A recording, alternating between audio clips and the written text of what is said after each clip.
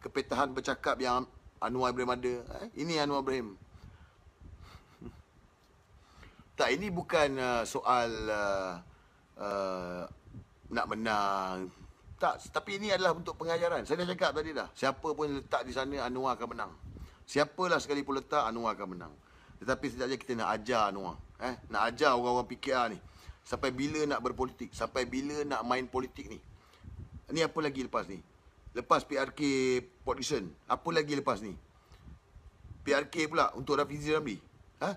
Lepas PRK Polisen, satu lagi PRK untuk Rafizi Ramli. Ke macam mana ni?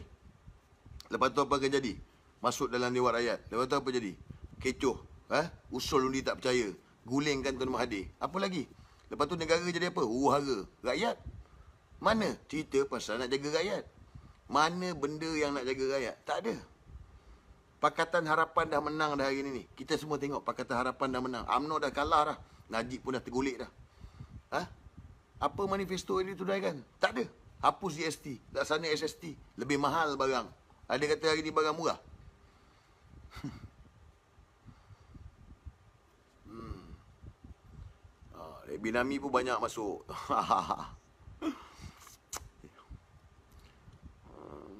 Kita, saya tak harapkan undi Cina lah kalau di Port Dickson. Kalau saya layak bertanding, saya tak agakkan undi Cina.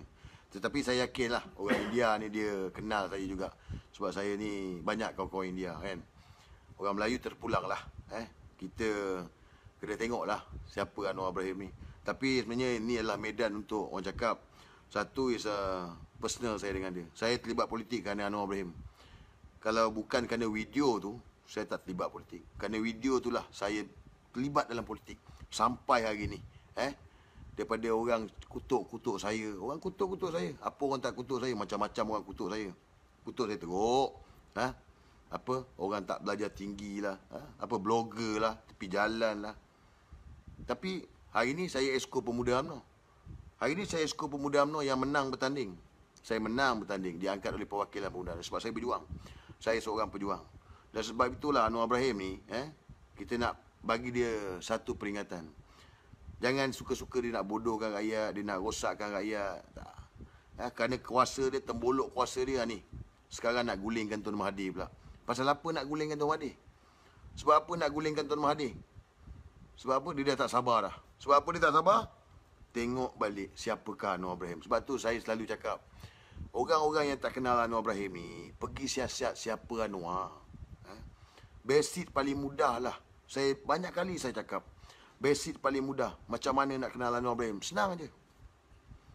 Kalau AMNO dulu, eh 60 tahun merintah, orang kata apa?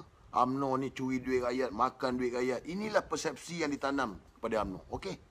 Kalau betul lah itu yang dikatakan. Tetapi PKR ni, Parti Keadilan Rakyat yang mana diketuai oleh Anwar Ibrahim ni, daripada mana dia datang duit? Daripada mana dapat duit? Daripada mana datangnya duit? Kita ada akal, kita ada akal, kita fikir segi. Eh? Selama 20 tahun PKR ni hidup, eh, parti politik PKR ni bertanding pada tiap kali pilihan raya dengan kursi DUN dan kursi parlimen yang banyak, daripada mana PKR dapat duit? Pernah tak kita fikir dalam kepala kita? Kalau UMNO kita kata UMNO ni korup, UMNO ni rasuah, UMNO ni curi wang rakyat, macam-macam. Betul? Itu kata UMNO. Tapi PKR ni datang daripada mana duit? Pernah ke tanya Anwar Ibrahim daripada mana datangnya duit PKR? Pernah ke tanya Lingkit Siang daripada mana datangnya duit kepada DAP ni? Pernah tak tanya? Jadi, nak bagi tahu Anwar Ibrahim ni belakang dia ada ada lagi benda besar. Belakang Anwar ni ada benda besar. Eh? Sebab tu hari ni nak tak nak, eh? saya dah banyak kali cakap lebih baik berada di bawah Tun Dr. Mahathir berbanding Anwar Ibrahim. Percayalah saya cakap. Percayalah. Eh? Sebab apa? Kita tahu Tuan Mahathir ni kroni ramai. Kita dengar kroni Mahathir ni. Ha? Kita dengar Ananda Krishnan, Winston Tan, ha? apa lagi, Robert Kwok. Macam-macam kroni ni. Mahathir ni. Ha? Kita dengar macam-macam kroni ni. Apa yang Mahathir tak kroni? Kroni saja semua. Tapi itulah kroni-kroni dia yang kita kenal, yang kita tahu. Dapat projek bagi balik duit dan sumbangan dan sebagainya. Ha? Anwar Ibrahim ni, kita tak pernah dengar pasal kroni. Dan Anwar Ibrahim selalu cakap pasal kronisme lah, bla bla bla lah. Ha? Ini Anwar Ibrahim.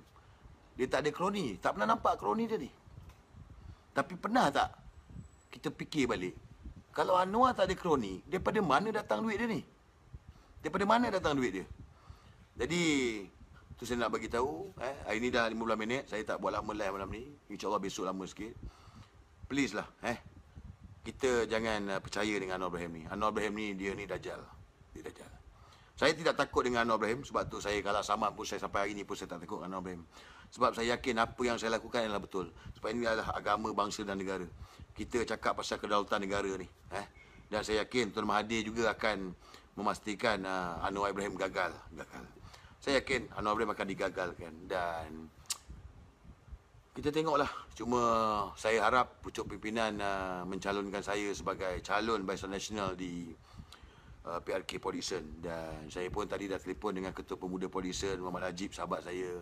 Saya minta uh, laluan saya cakap kalau saya dicalonkan kan? Sebab ialah tempat orang kan? Sebab saya pun bukan anak tempatan Nagori kan? Cuma ialah Anwar Ibrahim pun bukan orang Negeri Sembilan bukan orang Polisen yang kita nak tunjuk ni adalah show yang mana rakyat akan melihat banyak perkara yang akan uh, berlaku di PRK Polisen ni. Jika saya uh, dicalonkan oleh Barisan Nasional. Aku tak pernah cakap aku baik. Tak pernah aku cakap dalam video live aku nak baik. Aku bukan macam Anwar Ibrahim. Baik. Tak ada. Aku tak baik. Eh?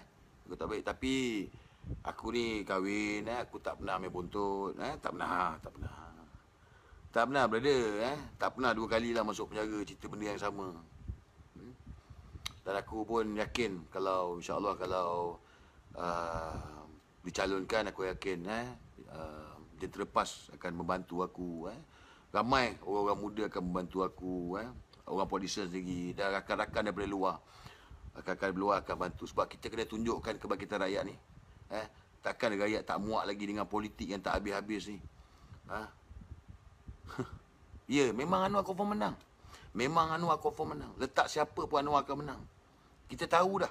Sebab itulah Anwar pilih di polisen ni korang ni. Yang mana yang apa macam-macam ni eh. Sebab itulah Anwar pilih di polisen sebab dia tahu dia akan menang di Polisen. Itu Anwar. Kau ingat hari ni ke baru nak rancang pergi berlatih dengan Polisen? Dah lama dah rancangan ni.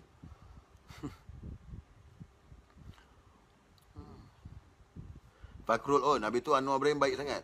Anwar Ibrahim baik ke? Apa yang Anwar Ibrahim baik? Ha? Anwar Ibrahim baik? Baik. Baik-baik. Ha, ha. Papa Gomo, wes Papa Homo.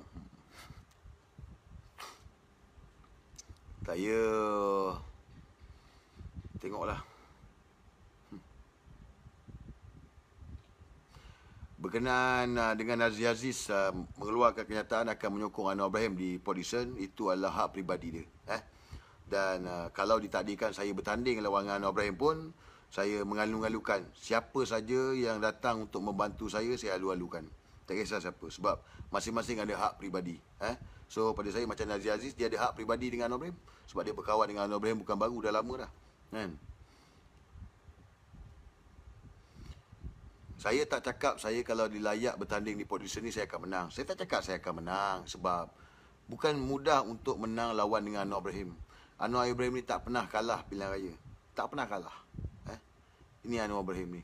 Ditambah pula dengan Port yang pengundi Melayu berpecah dua, pengundi Cina dan pengundi India ini sudah pastilah kalau di atas kertas pun kita dapat lihat Anwar Ibrahim akan menang. Tetapi kita akan bagi satu signal rakyat kebangkitan rakyat tu eh suara anak muda tu kita terjemahkan. Itu kita kena buat. Kita kena tunjuk kepada orang-orang politik ni. Kita kena tunjuk kepada kerajaan Pakatan Harapan. Sampai bila mereka ni nak bermain politik ni? Sampai bila nak cerita pasal politik je ni? Eh? Benda nak mansuh itu tak tunai, itu tak tunai. Apa Anwar Ibrahim nak janji apa? Kalau dia menang ahli parlimen, uh, dan apabila Anwar Ibrahim menjadi Perdana Menteri, hari ini saya menjadi Perdana Menteri, besok minyak turun singgit setengah. Ha, pundek. Ha? Anwar Ibrahim tak akan buat benda tu. Tapi dia akan kempen, macam mana sebelum ni dia kempen. Hari ini bentuk kerajaan, pukul 12 malam, saya umum harga minyak turun. Ha? Kalau ada lagi yang percaya tentang harga minyak nak turun, Anwar nak masukkan tol kalau dia jadi Perdana Menteri, minta maaf. Tolonglah rakyat, buka lah minda tu, buka lah mata tu.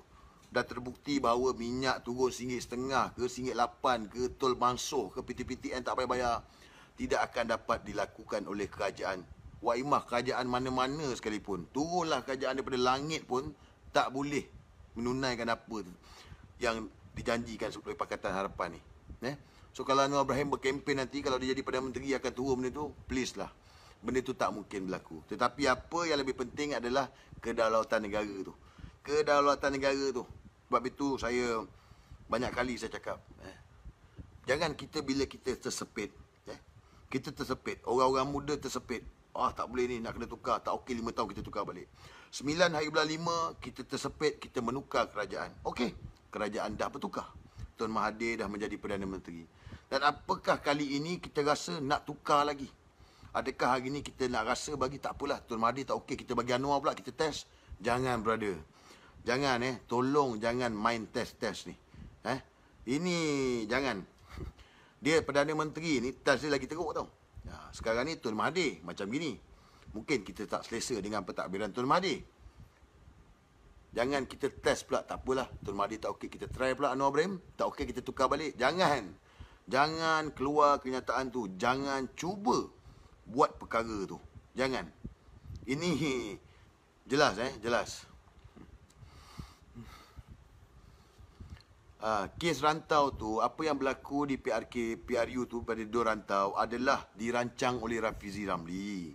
Kerana inilah apabila Anwar Ibrahim bertanding di Podison, barulah kita tahu bahawa memang dua rantau itu sengaja dibuat. Sebab, macam saya cakap sebelum ni, seluruh Malaysia eh, calon PKR mengambil PAS SPR. Tetapi kenapa di Don Rantau calon PKR tidak mengambil PAS SPR? Ianya disengajakan. Calon PKR Don Rantau sengajakan perkara tersebut.